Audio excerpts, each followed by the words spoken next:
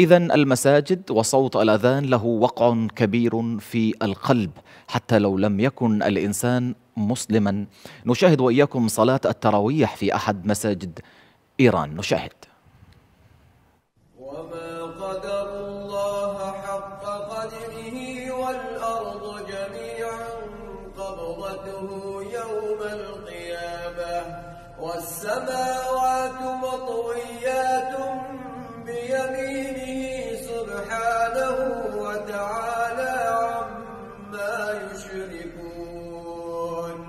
ونفخ في الصور فصعق من في السماوات ومن في الأرض إلا من شاء الله. ثم نفخ فيه أخرى فإذا هم قيام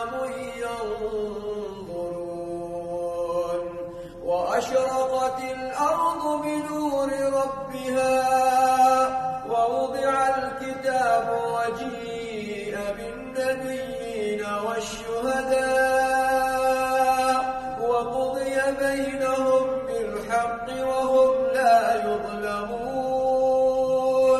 ووفيت كل نفس ما عملت